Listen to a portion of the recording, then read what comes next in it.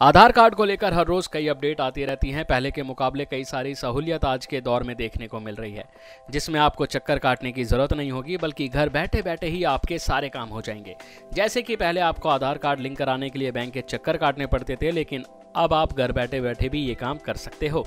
आपको बता दें, स्टेट बैंक के कस्टमर एसबीआई के योनो एनीवेयर ऐप एसबीआई की इंटरनेट बैंकिंग सर्विस की मदद से आप ये काम घर बैठे बैठे कर सकते हैं।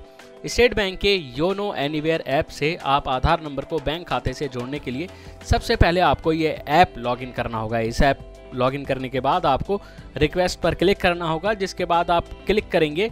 जैसे ही आप आधार कार्ड पर क्लिक करेंगे तो आधार लिंक का ऑप्शन आएगा। इसके बाद लिस्ट से अपने सीआईएफ को सिलेक्ट करना होगा, जिसके बाद आधार कार्ड नंबर डालना होगा। अब आप टर्म एंड कंडीशन को सिलेक्ट करें और सबमिट कर दें। जैसे ही आप यह प्रोसेस पूरा करेंगे, उसके बाद आपके रजिस्टर्ड मोबाइल नंबर पर एक एसएमएस आएगा, जिसमें आधार लिंक का स्टेटस बताया जाएगा और उसे फॉलो करेंगे तो आपका काम हो जाएगा। नेक्स्ट नाइन, टैग के लिए राशिद अली की रिपोर्ट।